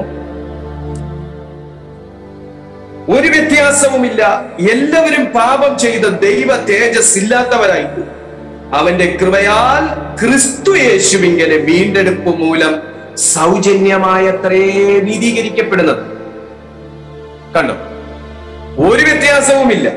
എല്ലാവരും പാപം ചെയ്ത ദൈവ തേജസ് ഇല്ലാത്തവരായി. ദൈവ തേജസ് ഇല്ലാത്തവരായി. നഷ്ടപ്പെട്ടു എന്ന വാക്കിന് സത്യത്തിൽ പ്രാധാന്യം ഇനി ഇല്ല. ഇല്ലാതെയായി. എന്റെ വീട്ടിൽ ഇല്ലാത്ത ഒന്നിനെ എനിക്ക് വില കൊടുത്ത് വാങ്ങാൻ കഴിയുന്നതാണെങ്കിൽ എനിക്ക് വീണ്ടും വാങ്ങി റിസ്റ്റോർ ചെയ്യാം. അപ്പൊ ഇല്ല എന്നൊരു വാക്കിന് അവിടെ പ്രാധാന്യവും നഷ്ടപ്പെട്ടു എന്നൊരു വാക്കിന് ഓൾറെഡി പ്രാധാന്യമില്ല. കാരണം യേശു ക്രിസ്തു വന്നതോടെ നഷ്ടപ്പെട്ടു എന്ന വാക്കിന് പ്രാധാന്യമില്ല. ഒന്നും ഈ ഭൂമിയിൽ നഷ്ടപ്പെട്ടു സകലതും റെസ്റ്റോർ ചെയ്യപ്പെടാവുന്നത് പക്ഷേ ഇവിടെ ഇല്ലാതെയായി എന്നാണ് റോമർ കെഴുതി ലേഖനത്തിൽ പൗലോസ് രേഖപ്പെടുത്തുന്നത്. ഇല്ലാതെയായതിനെ എനിക്ക് വീണ്ടും റിസ്റ്റോർ ചെയ്യാൻ കഴിയും. റിസ്റ്റോർ ചെയ്യാൻ കഴിയുന്ന ഒന്നാണ് എനിക്ക് പിതാവ് യേശു ക്രിസ്തുവിലൂടെ ഓഫർ ചെയ്യുന്നത്. റിസ്റ്റോർ ചെയ്യാൻ കഴിയുന്ന ഒന്നാണ് യേശു ക്രിസ്തുവിലൂടെ എനിക്ക് ഓഫർ ചെയ്യുന്നത്. ആ തേജസിന്റെ അനുഭവം ആ glorious presence for all have sinned and fall short of the glory വീടുപോയി fall short ആ ദൈവ തേജസ്സിൽ നിന്ന് വീടുപോയി പക്ഷെ വീണാൽ ഇങ്ങനെ എഴുന്നേക്കാൻ പറ്റും. മലയാളത്തിൽ ഇല്ലാതെയായി എന്നാണ് പറയുന്നത്. ഇല്ലാതെയായാലും നിനക്ക് അതിനെ റിസ്റ്റോർ ചെയ്യാൻ ക്രിസ്തു യേശുവിങ്കലെ വീണ്ടെടുപ്പ് മൂലം നിനക്ക് നഷ്ടപ്പെട്ടത് എന്തും എന്തും ഏതും നിനക്ക് തിരിച്ചു പിടിക്കാനും തിരിച്ചു പിടിക്കാവുന്നതേ വിശ്വസിക്കാൻ കഴിയുമോ പ്രിയപ്പെട്ടവരെ? ഞാൻ അതുകൊണ്ടാണ് പറഞ്ഞത് സ്നാനം എന്ന് പറയുമ്പോൾ സ്നാനത്തെ കുറിച്ച് മാത്രം അങ്ങനെ പറഞ്ഞു പോകാൻ കഴിയുന്നതല്ല സ്നാനത്തിന്റെ ഒരു ടോപ്പിക് ഞാൻ പഠിച്ചു മനസ്സിലാക്കിയോ? സ്നാനത്തിനകത്ത് നിങ്ങളൊരു പുതിയ സൃഷ്ടിയാക്കപ്പെടുന്നത് പോലെ നിങ്ങളുടെ സകലതും പുനർജീവിപ്പിക്കപ്പെടുകയാണ്. കാരണം സ്നാനത്തിലൂടെ നിങ്ങളിലെ സകല പാപങ്ങളും ശാപങ്ങളും തകർന്നു പോകുകയാണ്. സോ നിങ്ങളുടെ സകലതും പുനർജീവിപ്പിക്കാൻ ദൈവത്തിന് കഴിയും. അപ്പോ നിങ്ങൾ ആ റോമർ കെഴുതി ലേഖനം മൂന്നാം അധ്യായം ഇരുപത്തി മൂന്നാമത് വാക്യമാണ് ഇപ്പൊ വായിച്ചത്. ഇനി പാപം ചെയ്തത് മുതൽ സകല മേഖലയിലും മരണം സംഭവിച്ചു എന്നുള്ളത് റോമൻ എഴുതിയ ലേഖനം ആറാം അധ്യായം അതിന്റെ ഇരുപത്തി മൂന്നാമത്തെ വാക്യം രേഖപ്പെടുത്തും പാപത്തിന്റെ ശമ്പളം മരണമത്രേ ദൈവത്തിന്റെ കൃപാവരമോ നമ്മുടെ കർത്താവായ യേശു ക്രിസ്തുവിൽ നിത്യ ജീവൻ തന്നെ.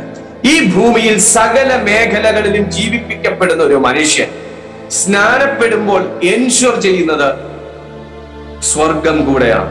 സ്വർഗം കൂടെയാണ്. കാരണം ദൈവരാജ്യം കാണണമെങ്കിൽ സ്വർഗരാജ്യത്തിൽ കടക്കണമെങ്കിൽ സ്നാനം ഇമ്പോർട്ടന്റ് ആണ് എന്ന് യേശു ക്രിസ്തു തന്നെ പഠിപ്പിക്കും പാപത്തിന്റെ ശമ്പളമായ മരണത്തിൽ നിന്നും പാപത്തിന്റെ ശമ്പളമായ മരണം വാണിരുന്ന സകല മേഖലകളിൽ നിന്നും ഒരു മനുഷ്യൻ സ്നാനപ്പെടുമ്പോൾ ക്രിസ്തു നൽകിയ നിത്യജീവനാൽ സകല മേഖലകളിലും അവൻ ജീവിപ്പിക്കപ്പെടുകയാണ്. എസ്പെഷ്യലി അവൻ ആത്മാവിൽ ഒരു പുതുജനനം പ്രാപിക്കും.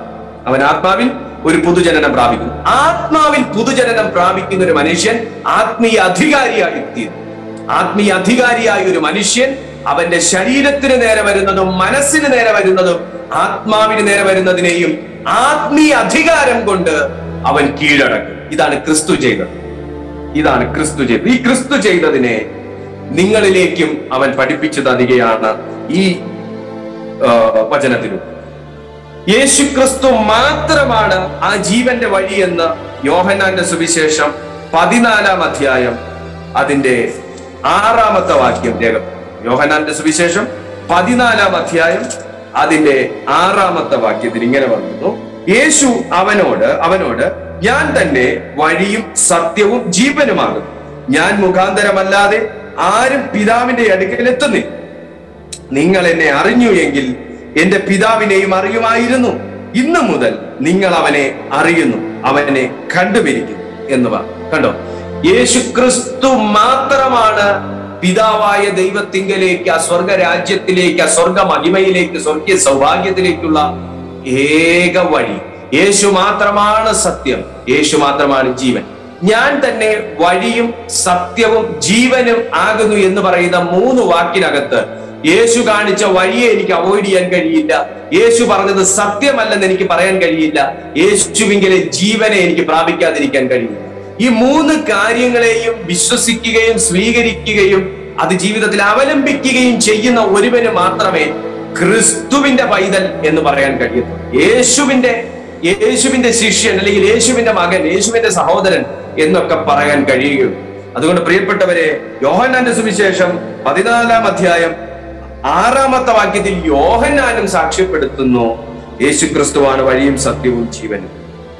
പിതാവിന്റെ അടുക്കിലേക്കുള്ള വഴി കാണിക്കുന്ന ഏക വ്യക്തി യേശുവാണെന്ന് യോഹന്നാനും സാക്ഷ്യപ്പെടുത്തുന്നു. മർക്കോസ് സാക്ഷ്യപ്പെടുത്തി യോഹന്നാൻ സാക്ഷ്യപ്പെടുത്തി പൗലോസ് സാക്ഷ്യപ്പെടുത്തി യേശുവും സാക്ഷ്യപ്പെടുത്തി. ഈ പറയുന്ന മൂന്ന് ഗ്രന്ഥകർത്താക്കളും മൂന്ന് കാലഘട്ടങ്ങളിൽ മൂന്ന് സ്ഥലങ്ങളിൽ മൂന്ന് യുഗങ്ങളിൽ ജീവിച്ചിരുന്ന വ്യക്തികളാണ്. മൂന്ന് സമയങ്ങളിൽ ജീവിച്ചിരുന്ന വ്യക്തികളാണ്. പക്ഷേ ഇവർ ഒരുപോലെ എഴുതി വെക്കുന്നു. യേശു ക്രിസ്തു തന്നെയാണ് വഴിയും സത്യവും ജീവനും. യോഹനാന്റെ സുവിശേഷം ഒന്നാം അധ്യായം അതിന്റെ പന്ത്രണ്ടാമത്തെ വാക്യത്തിലേക്ക് പോകുകയാണെങ്കിൽ അവനെ കൈക്കൊണ്ട് അവന്റെ നാമത്തിൽ വിശ്വസിക്കുന്ന ഏവർക്കും ദൈവമക്കളാകുവാൻ അവൻ അധികാരം കൊടുത്തു. കണ്ടോ?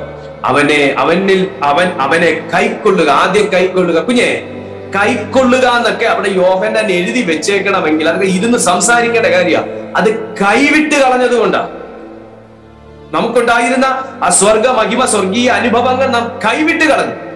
കൈവിട്ട് കളഞ്ഞതുകൊണ്ട് അവിടെ എഴുതി വെക്കുന്നു അവനെ കൈക്കൊണ്ട് അവന്റെ നാമത്തിൽ വിശ്വസിക്കുന്ന ഏവർക്കും ദൈവ മക്കളാകുവാൻ അധികാരം കൊടുത്തു. ഇന്ന് നിങ്ങൾ അധികാരമുള്ളവരാണ്. അവർ രക്തത്തിൽ നിന്നല്ല ജഡത്തിന്റെ ഇഷ്ടത്താലല്ല പുരുഷന്റെ ഇഷ്ടത്താലുമല്ല. ദൈവത്തിൽ നിന്നത്രേ ജനിച്ചു. ജനിച്ചു. ദൈവത്തിൽ നിന്നത്രേ ജനിച്ചത്. കണ്ടോ? അപ്പോ വെള്ളത്തിൽ മുങ്ങി പൊങ്ങി സ്നാനപ്പെടുന്ന ഒരു മനുഷ്യൻ കാഴ്ചയെ അവൻ വെള്ളത്തിൽ മുങ്ങി പൊങ്ങി. അവനൊന്ന് കുളിച്ചു കയറി. പക്ഷെ അതിനകത്തൊരു ജനനം നടക്കുകയാണ്. നിങ്ങളുടെ അപ്പനിൽ നിന്നും അമ്മയിൽ നിന്നും ജനിച്ചതുപോലെയല്ല പുരുഷന്റെ ഇഷ്ടത്താലും അല്ല രക്തത്തിൽ നിന്നുമല്ല. നിങ്ങൾ ജനിച്ചത് ദൈവത്തിൽ നിന്നാണ്. ഹോ എത്ര മഹനീയ അനുഭവമാണ് എത്ര മഹത്വകരമായ അനുഭവമാണ് ദൈവത്തിൽ നിന്ന് ജനിക്കുക എന്ന് പറയുന്നത്. ദൈവത്തിൽ നിന്ന് ജനിച്ചു എന്ന് പറയുന്നത് ദൈവത്തിൽ നിന്ന് ജനിച്ചെങ്കിൽ നിങ്ങളുടെ പിതാവ് ദൈവമല്ല. എനിക്കെന്തെങ്കിലും ഒന്ന് വന്നു കഴിഞ്ഞാൽ എന്നെ അന്വേഷിക്കുന്നതും ചോദിക്കുന്നതും ചോദിക്കാൻ ചെല്ലുന്നതും എന്റെ അമ്മയപ്പന്മാരല്ലേ? അപ്പൊ ദൈവത്തിൽ നിന്ന് ജനിച്ച ഒരു പൈതലിനെ ദൈവം ദൈവത്തിന്റെ പുത്രന്റെ പുത്രിയുമായിട്ടല്ലേ കാണുന്നത്? അങ്ങനെയാണെങ്കിൽ നിങ്ങൾക്ക് ചോദിക്കാനും പറയാനും ഒരാളില്ലേ ദൈവത്തിൽ നിന്ന് ജനിച്ച കുഞ്ഞെ? നിങ്ങൾ എങ്ങനെ ദൈവത്തിന്റെ മകനും മകളുമായി മാറി? അവനെ കൈക്കൊണ്ട് അവന്റെ നാമത്തിൽ വിശ്വസിച്ചത് കൊണ്ട് നിങ്ങൾ ദൈവത്തിന്റെ മകനും മകളുമായി മാറി. ഇന്നും നിങ്ങളുടെ പിതൃത്വം പിശാജ് അവകാശപ്പെടുന്നുണ്ട്. അതുകൊണ്ടാണ് വീണ്ടും നിങ്ങൾ പാപം ചെയ്യും. ഞാൻ തുടക്കത്തിൽ പറഞ്ഞില്ല എന്തുകൊണ്ട് നിങ്ങൾ പാപം മോചനം ലഭിച്ചുവെങ്കിൽ വീണ്ടും വീണ്ടും പാപ ടെൻഡൻസി ഉണ്ടാകുന്നു പാപം ചെയ്യാൻ തോന്നുന്നു വീണ്ടും വീണ്ടും പാപിയായി പോകുന്നു വീണ്ടും വീണ്ടും തെറ്റിപ്പോകുന്നു വീണ്ടും വീണ്ടും രോഗം വരുന്നു വീണ്ടും വീണ്ടും പഴയ അവസ്ഥകൾ വരുന്നു വീണ്ടും പരാജയങ്ങൾ വരുന്നു. കാരണം കർത്താവിന്റെ രണ്ടാം വരവ് വരെ ഈ പിശാജ് ദൈവമക്കൾക്ക് നേരെയും ലോകത്തിന് നേരെയും വിശുദ്ധീകരിക്കപ്പെട്ടവർക്ക് നേരെയും വാദിച്ചുകൊണ്ടേയിരിക്കും. ഈ ആത്മീയ അധികാരം നിലനിർത്തുമ്പോഴാണ് ഇതിന്മേൽ ജയം നമുക്കുണ്ടാകും യോഹന്നാന്റെ സുവിശേഷം മൂന്നാം അധ്യായം. അതിന്റെ മൂന്നാമത്തെ വാക്യം യോഹന്നാന്റെ സുവിശേഷം മൂന്നാം അധ്യായം മൂന്നാമത്തെ വാക്യം ദൈവം യേശു അവനോട് ആമേൻ ഞാൻ നിന്നോട് പറയുന്നു പുതുതായി ജനിച്ചില്ല എങ്കിൽ ആരും ദൈവരാജ്യം കാണുവാൻ കഴിയുകയില്ല. അപ്പോ പുതുതായി ജനിക്കണമെന്ന് യേശു നിക്കോദിമോസിനോടും പറയുന്നത് നമുക്ക് അവിടെ കാണാനായിട്ട് കഴിയും. റോമർ എഴുതിയ ലേഖനം പത്താം അധ്യായം അതിന്റെ ഒൻപതും പത്തും വാക്യങ്ങൾ. റോമർ എഴുതിയ ലേഖനം പത്താം അധ്യായം അതിന്റെ ഒൻപത് പത്ത് പതിമൂന്നാം വാക്യം. ഒൻപതാമത്തെ വാക്യം ഇങ്ങനെ പറയുന്നത് യേശുവിനെ കർത്താവ് എന്ന് വായിക്കൊണ്ട് ഏറ്റുപറയുകയും ദൈവം അവനെ മരിച്ചവരിൽ നിന്ന് ഉയർത്തെഴുന്നേൽപ്പിച്ചു എന്ന് ഹൃദയം കൊണ്ട് വിശ്വസിക്കുകയും ചെയ്താൽ ആദ്യം നീ രക്ഷിക്കപ്പെട്ടു. നിങ്ങളിപ്പോൾ രക്ഷിക്കപ്പെട്ട അനുഭവത്തിലാണ് സ്നാനപ്പെട്ടിട്ടില്ലാത്ത വ്യക്തികളായിരുന്നു നിങ്ങൾ യേശുവിനെ വിശ്വസിച്ചത് കൊണ്ട് നിങ്ങൾ രക്ഷിക്കപ്പെട്ടു. ഹൃദയം കൊണ്ട് നീതിക്കായി വിശ്വസിക്കുകയും വാരി കൊണ്ട് രക്ഷയ്ക്കായി ഏറ്റുപറയുകയും ചെയ്തു. അവനിൽ വിശ്വസിക്കുന്നവൻ ഒരുത്തനും ലജ്ജിച്ചു പോകയില്ല എന്ന തിരുവെഴുത്തിൽ അരുളി ചെയ്യുന്നല്ലോ. യഹൂദനെന്നും യവനെന്നും വ്യത്യാസമില്ല. എല്ലാവർക്കും കർത്താവ് ഒരുവൻ തന്നെ. അവൻ തന്നെ വിളിച്ചപേക്ഷിക്കുന്ന എല്ലാവർക്കും നൽകുവാൻ തക്കവണ്ണം സമ്പന്നനാൽ കർത്താവിന്റെ നാമത്തെ വിളിച്ചപേക്ഷിക്കുന്ന ഏവനും രക്ഷിക്കപ്പെടും എന്നുണ്ടല്ലോ. രക്ഷിക്കപ്പെടും എന്ന് ഉള്ളത് നിങ്ങൾ വായി കൊണ്ട് ഏറ്റുപറയുകയും ഹൃദയം കൊണ്ട് വിശ്വസിക്കുകയും ചെയ്യുമ്പോഴാണ്. യേശുവിന്റെ രക്തമാണ് നമുക്ക് ഈ ഒരു അവസരം ഉണ്ടാക്കി തന്നത് യേശുവിന്റെ രക്തം. എബ്രായർക്ക് എഴുതിയ ലേഖനം ഒമ്പതാം അധ്യായം.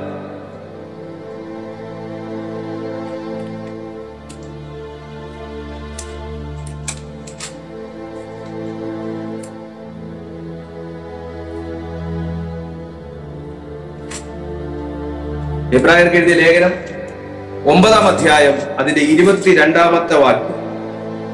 ന്യായപ്രമാണ പ്രകാരം ഏകദേശം സകലവും രക്തത്താൽ ശുദ്ധീകരിക്കപ്പെടും രക്തം ചൊരിഞ്ഞിട്ടല്ലാതെ വിമോചനമില്ല. എങ്ങനെയാണ് യേശു ക്രിസ്തുവിലൂടെ എനിക്ക് രക്ഷ വന്നെന്ന് മനസ്സിലായത് വെറുതെ അല്ല. യേശു ന്യായപ്രമാണ പ്രകാരം അതായത് ന്യായപ്രമാണ ഞാൻ പറഞ്ഞല്ലോ ഇൻ ദ ബിഗിനിങ് എന്ന ഉൽപ്പത്തി തുടങ്ങി. ദി ബിഗിനിങ് എന്ന് മർക്കോസിൽ തുടങ്ങി. ദി ബിഗിനിങ്ങിൽ തുടങ്ങിയത് പരാജയത്തിൽ പകുതി വെച്ച് അവസാനിച്ചപ്പോൾ ജയത്തിൽ ന്യായപ്രമാണത്തെ ക്ലോസ് ചെയ്തവനാണ് യേശു ക്രിസ്തു പഴയ നിയമത്തിന്റെ പൂർത്തീകരണവും പുതിയ നിയമത്തിന്റെ തുടക്കവും യേശു ക്രിസ്തുവിലൂടെയാണ് കണ്ടോ? അപ്പോ രക്തം ചൊരിഞ്ഞല്ലാതെ വിമോചനമില്ലെന്ന് ന്യായപ്രമാണത്തിൽ എഴുതി വെച്ചേക്കുമ്പോൾ രക്തം കൊടുക്കാതെയല്ല യേശു പുതിയ നിയമം സ്ഥാപിച്ചത്. രക്ത ഉടമ്പടിയോടുകൂടിയാണ് പുതിയ നിയമം സ്ഥാപിച്ചത്. ഏകദേശം അവിടെ എഴുതി വെച്ചേ. ഏകദേശം സകലവും രക്തത്താൽ ശുദ്ധീകരിക്കപ്പെടുന്നു. രക്തം ചൊരിഞ്ഞിട്ടല്ലാതെ വിമോചനം പാപത്തിൽ നിന്നും ശാപത്തിൽ നിന്നും മാനവരാശിയെ വിമോചിപ്പിച്ചത് ഹാബേലിനേക്കാൾ ഗുണകരമായി സംസാരിക്കുന്ന യേശു ക്രിസ്തുവിന്റെ രക്തം നൽകിക്കൊണ്ടാണ്. അവർ രക്ഷിക്കപ്പെടുന്ന നിങ്ങളിൽ സ്നാനപ്പെടുന്ന നിങ്ങളിൽ രക്ത ഉടമ്പടിയോടുകൂടെയാണ് യേശു നിങ്ങളെ വിളിച്ചു ചേർത്തിരിക്കുന്നത്. മനസ്സിലാക്കുക? രോഗത്തിന് ശാപത്തിന് ഇനി നിങ്ങളിൽ അവകാശമില്ല പ്രിയപ്പെട്ടവരെ. ഈ സത്യം നിങ്ങൾ തിരിച്ചറിയും മത്തായി എഴുതിയ സുവിശേഷം പതിനെട്ടാം അധ്യായം. മത്തായി എഴുതിയ സുവിശേഷം പതിനെട്ടാം അധ്യായം മൂന്നാമത്തെ വാക്യം. മത്തായി പതിനെട്ട് മൂന്ന്.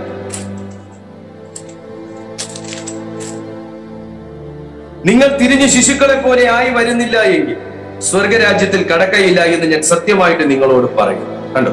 സ്നാനപ്പെട്ട ഒരു വ്യക്തിക്ക് ആ സ്നാനപ്പെട്ടല്ലോ വീട്ടിൽ ജനിച്ചല്ലോ അന്യഭാഷ പ്രാപിച്ചല്ലോ എങ്കിൽ പിന്നെ ഇടയ്ക്ക് പാപം ചെയ്യാം എങ്ങനെയെങ്കിലും ഒക്കെ ജീവിക്കാം എങ്ങനെയും സംസാരിക്കാം എങ്ങനെയും പെരുമാറാം.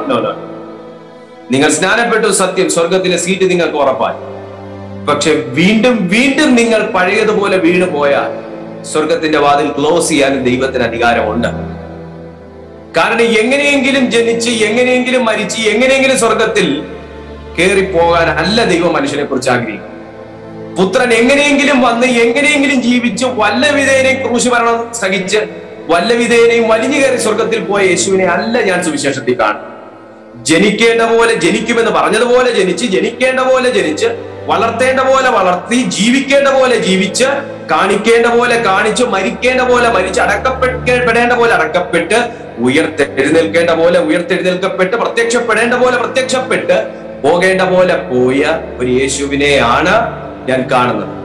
ചെയ്യേണ്ട പോലെ ചെയ്ത ഒരു യേശുവിനെയാണ് ഞാൻ കാണുന്നത്. കാൽവറി ക്രൂശിൽ ഇത്രയും അടിയുടെ മധ്യത്തിലും തകർക്കേണ്ടവന്റെ തലയെ തകർത്തിട്ടാണ് അവൻ. അതുകൊണ്ട് ഈ ക്രിസ്തുവിൽ നീതീകരിക്കപ്പെട്ട ഒരു വ്യക്തി എങ്ങനെയെങ്കിലും വീണ്ടും ജനനം പ്രാപിച്ച് എങ്ങനെയെങ്കിലും ജീവിച്ച് എങ്ങനെയെങ്കിലും മരിച്ച് എങ്ങനെയെങ്കിലും സ്വർഗത്തിൽ കയറി പോകാൻ പറ്റത്തില്ല. നമുക്ക് ഗൂഗിളിൽ സെർച്ച് ചെയ്യാം. How can how to do? How could I എന്നൊക്കെ നമുക്ക് ഗൂഗിളിൽ സെർച്ച് ചെയ്യാം. പക്ഷെ സ്വർഗത്തിലേക്ക് പോകേണ്ട വഴി നമുക്ക് സെർച്ച് ചെയ്യാൻ കഴിയില്ല. സ്വർഗത്തിൽ പോകേണ്ട വഴി സെർച്ച് ചെയ്യാൻ കഴിയില്ല. ഉത്തരമൊട്ട് ഒന്നേ കിട്ടത്തുള്ളൂ ഇതേ കിട്ടത്തു എന്താണ് ഈ ഒറ്റ ഉത്തരം ഗൂഗിൾ നിങ്ങൾക്ക് തരുന്നു. നിങ്ങൾ തിരിഞ്ഞ് ശിശുക്കളെ പോലെയായി വരും പാപം സംബന്ധിച്ച് നിങ്ങൾ മരിക്കണം. ശിശുക്കളെ പോലെയാകണം ശിശുക്കളെ പോലെയാകണം ഇല്ലെങ്കിൽ സ്വർഗരാജ്യത്തിൽ കടക്കയില്ല എന്ന് സത്യമായിട്ട് പറയും. ഇനി യോഹനാന്റെ സുവിശേഷം മൂന്നാം അധ്യായം മുപ്പത്തി ആറാമത്തെ വാക്യം രണ്ട് വാക്യം കൂടെ ഉള്ളു അത് കഴിയുമ്പോൾ ഞാൻ ക്ലോസ് ചെയ്യാം രണ്ട് വാക്യം കൂടെ യോഹനാന്റെ സുവിശേഷം മൂന്നാം അധ്യായം സത്യം പറഞ്ഞ ഇന്ന് ഇതൊന്നും ആർക്കും വേണ്ട കേട്ടോ. മൂന്നാം അധ്യായം മുപ്പത്തി ആറാമത്തെ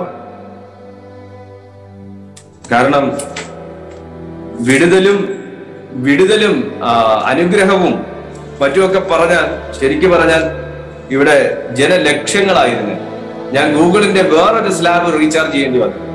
ഇതിപ്പോ നൂറ് പേർക്ക് വരെ റീചാർജ് ചെയ്തേക്കും ഞാൻ ആയിരം പേർക്കുള്ളത് റീചാർജ് ചെയ്യേണ്ടി വന്നു. പക്ഷേ മൂന്നാം അധ്യായം മുപ്പത്തി മുപ്പത്തി മൂന്നാം അധ്യായം മുപ്പത്തി ആറാമത്തെ യോഹനാന്റെ സുവിശേഷം മൂന്നാം അധ്യായം മുപ്പത്തി ആറാമത്തെ വാക്യം പുത്രനിൽ വിശ്വസിക്കുന്നവന് നിത്യജീവനുണ്ട്. പുത്രനെ അനുസരിക്കാത്തവനോ ജീവനെ കാണുകയില്ല. ദൈവക്രോധം അവന്റെ മേൽ വസിക്കുന്നതേയും പ്രിയപ്പെട്ടവരെ മനുഷ്യന്റെ മേൽ ശാപം വീണു. മനുഷ്യന്റെ മേൽ വീണ ശാപം രക്ഷിക്കപ്പെടാതെയും സ്നാനപ്പെടാതെയും ദൈവകൽപ്പന അനുസരിക്കാതെയും ഇരിക്കുന്നിടത്തോളം കാലം അവനിൽ ശാപം നിലനിൽക്കും. നിലനിൽക്കും. അവനിൽ ആ പരാജയത്തിന്റെ അനുഭവങ്ങൾ ഉണ്ടായിക്കൊണ്ടേ അവൻ എപ്പോഴും എല്ലാ മേഖലയിലും മരണം അനുഭവിക്കേണ്ടതായി സകല മേഖലയിലും മരണം അനുഭവിക്കേണ്ടതായി. കാരണം രണ്ട് കുറ്റം അവനിലുണ്ട്. ഒന്ന് ദൈവവചനം അവൻ സ്വീകരിച്ചില്ല. രണ്ട് പുത്രനെ അനുസരിച്ച്. ഇത് ദൈവം ക്ഷമിക്കും. ഈ ഒരു കാര്യം ദൈവം ക്ഷമിക്കും. കാരണം ദൂതന്മാർ പോലും ഇറങ്ങി വരാൻ തയ്യാറാകാതെ ഭയപ്പെട്ടു നിന്ന സ്ഥാനത്താണ് പുത്രൻ ഞാൻ പോകാം പിതാവേ എന്ന് പറഞ്ഞ് ഇറങ്ങി ഇറങ്ങി വന്ന പുത്രനിൽ വിശ്വസിക്കുന്നവന് നിത്യജീവനുണ്ട്. പുത്രനെ അനുസരിക്കാത്തവനു ജീവനെ കാണുകയും അവൻ മരണം കാണുമെന്ന് അവിടെ എഴുതി വെച്ചിരിക്കുന്നു. ജീവനെ കാണുകയില്ല എന്ന് പറയുമ്പോൾ അവിടെ മരണം ഉണ്ടല്ലോ ആത്മീയ മരണമുണ്ട് ശാരീരിക മരണമുണ്ട് എല്ലാം ഉണ്ട്. ഈ ശരീരം ഉയർക്കുമെന്ന് നിങ്ങൾക്കറിയാമോ ഈ ശരീര കർത്താവിൻ തൻ ഗംഭീരനാദത്തോടും കർത്താവ് തൻ ഗംഭീരനാദത്തോടും പ്രധാന ദൈവദൂതന്റെ ശബ്ദത്തോടും കാകളത്തോടും കൂടെ സ്വർഗത്തിൽ വരുമ്പോൾ ക്രിസ്തുവിൽ മരിച്ചവർ മരിച്ച വൃദ്ധന്മാർ മുമ്പേ ഉയർത്തെഴുന്നേൽക്കും. എങ്ങനെയാ ഉയർത്തെഴുന്നേൽക്കുന്നതെന്ന് അറിയാവോ? ഈ സ്നാനപ്പെട്ട് കഴിഞ്ഞ് രക്ഷിക്കപ്പെട്ട് സ്നാനപ്പെട്ട് പരിശുദ്ധാത്മാവിൽ നിറയുന്ന ജീവനാ ആ ജീവൻ ശരീരത്തിൽ വസിക്കുന്നവനാണ് ഉയർത്തെഴുന്നേൽക്കും. ആത്മാവിന്റെ മുദ്രയിടപ്പെട്ടവരാ. ഉയർത്തെഴുന്നേൽക്കും. അപ്പോൾ വെള്ളത്തിൽ മുങ്ങി പൊങ്ങിയുള്ള സ്നാനം അത്യാവശ്യമാണ്. പുത്രനെ അനുസരിക്കാത്തവനോ ജീവനെ കാണുകയില്ല. ദൈവക്രോധം അവന്റെ മേൽ വസിക്കുന്നതേ ഉള്ളൂ. ദൈവം ആഗ്രഹിച്ചിട്ടല്ല. പക്ഷെ പുത്രനിൽ വിശ്വസിക്കുമ്പോഴും അനുസരിക്കുമ്പോഴുമാണ് പുത്രനാലുള്ള നീതീകരണം സംഭവിക്കും ഇല്ലെങ്കിൽ ആ ശാപം അവിടെ തുടങ്ങും ആ പാപത്തിന്റെ വാസന അവിടെ നിൽക്കും. അതുകൊണ്ട് സ്നാനപ്പെടേണ്ടത് അത്യാവശ്യമാണ്. യോഹനാന്റെ സുവിശേഷം പത്താം അധ്യായം ഇരുപത്തി എട്ടാമത്തെ വാക്യത്തിൽ സ്നാനപ്പെട്ട് കഴിയുമ്പോൾ എന്താണ് സംഭവിക്കുന്നത്? യോഹനാനു സുവിശേഷം പത്താം അധ്യായം ഇരുപത്തി എട്ടാമത്തെ വാക്യത്തിൽ ഞാൻ അവയ്ക്ക് നിത്യജീവൻ കൊടുക്കുന്നു. അവ ഒരു നാളും നശിച്ചു പോകയില്ല. ആരും അവയെ എന്റെ കയ്യിൽ നിന്ന് പിടിച്ചു പറിക്കുകയുമില്ല. അവയെ തന്നിരിക്കുന്ന എന്റെ പിതാവ് എല്ലാവരിലും വലിയവൻ. പിതാവിന്റെ കയ്യിൽ നിന്ന് പിടിച്ചു പറിപ്പാൻ ആർക്കും കഴിയുകയില്ല. ഞാനും പിതാവും ഒന്നാകുന്നു. പ്രിയപ്പെട്ടവരെ സ്നാനപ്പെട്ട് കഴിയുന്ന സമയം നിങ്ങൾ ബാപ്റ്റിസത്തിലേക്ക് ഏറ്റവും കൂടുതൽ പ്രതികൂലമുള്ള ഒരു സമയമാണ് ബാപ്റ്റിസത്തിന് വേണ്ടി തീരുമാനിക്കുമ്പോഴുള്ള സമയം. സാത്താൻ പരമാവധി അത് മുടക്കാൻ ശ്രമിക്കും. അങ്ങനെയുള്ള അനുഭവമുള്ളവരുണ്ടായിരിക്കും. ഒന്നുമില്ലെങ്കിൽ ഒരു പനിയെങ്കിലും വരും. മുടക്കാൻ ശ്രമിക്കും. പക്ഷേ ഈ സ്നാനത്തിനകത്ത് സംഭവിക്കുന്നത് പിശ നിങ്ങൾ ക്രിസ്തുവിൽ വിശ്വസിക്കുമ്പോൾ ക്രിസ്തു നിങ്ങളുടെ ആവശ്യങ്ങൾ ഏറ്റെടുക്കുന്നു. പിശാചിൽ നിന്ന് നിങ്ങളെ പിടിച്ചു പറിച്ച് ക്രിസ്തുവിൽ നിങ്ങളെ ആക്കുകയാണ് ശരിക്കും പറഞ്ഞ ദൈവം ചെയ്തത്. അതുകൊണ്ടാ പിന്നെ ദൈവത്തിന്റെ കയ്യിൽ നിന്ന് പിടിച്ചു പറിക്കാൻ സാധിക്കില്ല എന്ന് അവിടെ എഴുതി വെച്ച്. നിങ്ങൾ ക്രിസ്തുവിന്റേതും ദൈവത്തിന്റെതുമായി തീരും. ലാസ്റ്റ് വാക്യം. രണ്ട് പെരുന്തിർക്ക് എഴുതിയ ലേഖനം രണ്ടാം അധ്യായം. അഞ്ചാം രണ്ട് പെരുന്തിർക്ക് എഴുതിയ ലേഖനം രണ്ടാം അധ്യായം. അല്ല സോറി രണ്ട് പെരുന്തിർക്ക് എഴുതിയ ലേഖനം അഞ്ചാം അധ്യായം പതിനേഴാമത്തെ വാക്യത്തിൽ ഇങ്ങനെ പറയുന്നു. ഒരുത്തൻ ക്രിസ്തുവിലായ അവൻ പുതിയ സൃഷ്ടി. പഴയത് കഴിഞ്ഞുപോയി. ഇതാ സകലതും പുതുതാക്കിയിരിക്കുന്നു. ഇതാ രണ്ടു പേരുത്തിന് എഴുതിയ ലേഖനം രണ്ടാം അധ്യായം.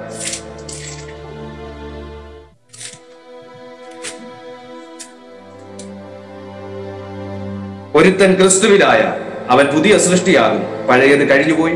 ഇതാ അത് പുതുതായി തീർന്നു. അതിനൊക്കെയും ദൈവം തന്നെ കാരണഭൂതൻ. അവൻ നമ്മെ ക്രിസ്തു മൂലം തന്നോട് നിരപ്പിച്ചു. നിരപ്പിന്റെ ശുശ്രൂഷ ഞങ്ങൾക്ക് ഞങ്ങൾക്ക് തന്നിരിക്കുന്നു എന്നെ കേൾക്കുന്ന പ്രിയപ്പെട്ടവരെ നാം ഇന്ന് കേട്ട ഇത്രയും സമയത്തെ വചനത്തിനാണ്. ഒരു മനുഷ്യന്റെ ജീവിതത്തിൽ രക്ഷ എന്ന അനുഭവം എങ്ങനെ സാധ്യമാണ്? ആത്മീയ രക്ഷയെക്കുറിച്ച് മാത്രമല്ല ബൈബിൾ പഠിപ്പിക്കുന്നത്. നിങ്ങൾ അഭിമുഖീകരിക്കുന്ന സകലത്തിൽ നിന്നുമുള്ള രക്ഷയാണ്. അതിന് ക്രിസ്തുവാണ് കാരണഭൂതനാകേണ്ടത്. ആ രക്ഷയ്ക്ക് ക്രിസ്തുവാണ് കാരണഭൂതനാകേണ്ടത്. അതിന് നാം ചെയ്യേണ്ട ഒരു കർത്തവ്യത്തെ കുറിച്ചാണ് യേശു പഠിപ്പിച്ചത്. യോഹന്നാന്റെ മർക്കോസിന്റെ സുവിശേഷം ഒന്നാം അധ്യായം പകുതി വരെ വരുമ്പോൾ ഈ യോഹന്നാന്റെ കൈക്കീഴിൽ യേശു സ്നാനപ്പെട്ടു. യേശു സ്നാനപ്പെട്ടപ്പോൾ കരയിൽ കയറി പ്രാർത്ഥിച്ചു കൊണ്ടിരിക്കുമ്പോൾ സ്വർഗം തുറന്ന ആത്മാവ് പ്രാപന്ന രൂപേണ യേശുവിന്റെ മേൽ ഇറങ്ങി അത് അവന്റെ മേൽ വസിച്ചു. യേശുവിന്റെ മേൽ വസിച്ചു എന്നാ പറയും പ്രിയപ്പെട്ടവരെ ഇത് നമ്മുടെയും അവകാശമായി മാറുമ്പോഴാണ് ക്രിസ്തീയ ജീവിതം അനുഗ്രഹിക്കപ്പെടുന്നത്. എന്താണ്? രക്ഷിക്കപ്പെടുക സ്നാനപ്പെടുക ആത്മാവിനെ പ്രാപിക്കുക പരിശുദ്ധാത്മാവിനെ പ്രാപിക്കുക. യേശു ആത്മീയ അടയാളത്തോടുകൂടെ ആത്മാവിന്റെ അടയാളത്തോടുകൂടെ പ്രാർത്ഥിച്ച വ്യക്തിയാണ്. എന്നെ കേൾക്കുന്ന താങ്കൾക്കും ആ അവകാശമുണ്ട്. ഒരുവൻ ക്രിസ്തുവിലായാൽ അവൻ പുതിയ സൃഷ്ടിയാണ്. പുതിയ സൃഷ്ടിയായ നിങ്ങളിലേക്ക് ആത്മാവിനെ പകരുക എന്നുള്ളത് ദൈവത്തിന്റെ ഇഷ്ടമാണ് കാരണം നിങ്ങൾക്ക് ഈ ഭൂമിയിൽ ജയിക്കണമെന്നുണ്ടെങ്കിൽ ജീവിക്കണമെന്നുണ്ടെങ്കിൽ നിങ്ങൾക്ക് പുതുതായി ജനിച്ചെങ്കിൽ മാത്രമേ സാധിക്കുകയുള്ളൂ. പുതുതായി ജനിച്ചെങ്കിൽ മാത്രമേ സാധിക്കുകയുള്ളൂ. നിങ്ങൾ സ്നാനപ്പെടാത്ത ഒരു വ്യക്തിയാണോ. നിങ്ങൾ സ്നാനപ്പെടാൻ ആഗ്രഹിക്കുന്ന ഒരു വ്യക്തിയാണ്. പ്രിയപ്പെട്ടവരെ നിങ്ങൾ സ്നാനപ്പെടേണ്ടത് എന്തിനാണ് എന്ന് നിങ്ങൾ ചിന്തിച്ച വ്യക്തിയാണ്. അല്ലെങ്കിൽ സ്നാനപ്പെടേണ്ട ആവശ്യമുണ്ട് എന്ന് ചിന്തിച്ച ഒരു വ്യക്തിയാണ്. ആവശ്യമുണ്ടോ എന്ന് ചിന്തിച്ച ഒരു വ്യക്തിയാണ്. അല്ലെങ്കിൽ സ്നാനത്തിന്റെ ഇമ്പോർട്ടൻസ് എന്താണെന്ന് ചിന്തിച്ചൊരു വ്യക്തിയാണ്. നിങ്ങളോടാണ് പരിശുദ്ധാത്മാവ് ഇത്രയും സമയം സംസാരിച്ചത്. ദൈവവചനത്തിന്റെ അടിസ്ഥാനത്തിലാണ് ദൈവം നിങ്ങളോട് സംസാരിച്ചത്. അതുകൊണ്ട് എത്രയും വേഗം നിങ്ങൾ ആയിരിക്കുന്ന സമയം നിങ്ങൾക്ക് മുകളിൽ ദൈവം സ്ഥാപിച്ചിരിക്കുന്ന അഭിഷിക്തന്റെ കൈയുടെ കീഴിൽ നിങ്ങൾ സ്നാനം സ്വീകരിക്കുക. നിങ്ങൾ സ്നാനം സ്വീകരിക്കുക. അത് വളരെ അത്യാവശ്യമാണ് നിങ്ങളുടെ നിത്യതയുടെ ഉറപ്പിനും സ്വർഗരാജ്യത്തിലേക്കുള്ള പ്രവേശനത്തിനും. അത് വളരെ അത്യന്താപേക്ഷിതമാണ്. നിങ്ങൾ പാപം സംബന്ധിച്ച് മരിച്ച നീതിക്കായി ജീവിക്കാൻ ആഗ്രഹിക്കുന്നു. സ്നാനം വളരെ അത്യാവശ്യം.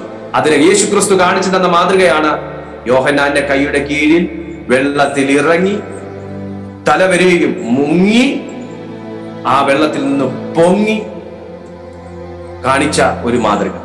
വെള്ളത്തിൽ മുങ്ങി പൊങ്ങുക. ഇതാണ് യേശു കാണിച്ച മാതൃക. സ്നാനം എന്ന് പറയുമ്പോൾ അതിന് കുളി എന്നൊരർത്ഥം കൂടെയുണ്ട്. ആരും വെള്ളം തളിച്ച് കുളിക്കാറില്ല.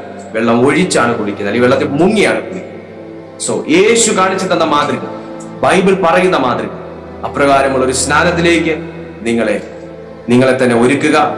അതിന്റെ ഇമ്പോർട്ടൻസിനെ കുറിച്ചാണ് ദൈവാത്മാവ് ഇന്ന് പഠിപ്പിച്ചത്. ഇത് നിങ്ങൾക്ക് ഏവർക്കും അനുഗ്രഹമായി എങ്കിൽ ഉറപ്പായി നിങ്ങൾ മറ്റുള്ളവർക്കും ഈ വീഡിയോ ഷെയർ ചെയ്ത് കൊടുക്കുക കൂടുതൽ വിശദ വിവരങ്ങൾക്ക് നിങ്ങൾ ആഗ്രഹിക്കുന്നുവെങ്കിൽ നിങ്ങൾ താഴെ ഡിസ്ക്രിപ്ഷൻ ബോക്സിൽ കൊടുത്തിരിക്കുന്ന പ്രയർ ലൈൻ നമ്പറിലോ മുകളിൽ കാണിച്ചിരിക്കുന്ന പ്രയർ ലൈൻ നമ്പറിലോ നിങ്ങൾക്ക് ബന്ധപ്പെടാവുന്നതാണ്. എന്നിട്ട് നിങ്ങളാകുന്ന സഭയിൽ നിങ്ങൾ പൊയ്ക്കൊണ്ടിരിക്കുന്ന സഭയിൽ അവിടുത്തെ ഫാസ്റ്ററിന്റെ കൈ കീഴിൽ നിങ്ങൾ സ്നാനപ്പെടും സഭയ്ക്കും സമൂഹത്തിനും ഒരു അനുഗ്രഹമായി മാറി അടുത്തൊരു ദിവസം പുതിയൊരു സന്ദേശവുമായി കണ്ടുമുട്ടുന്നത് വരെ തിന്നതിന്റെ ചിറകിന്റെ കീഴിൽ കർത്താവ് നിങ്ങളെ സൂക്ഷിക്കട്ടെ. I bless you in Jesus' almighty name. Amen.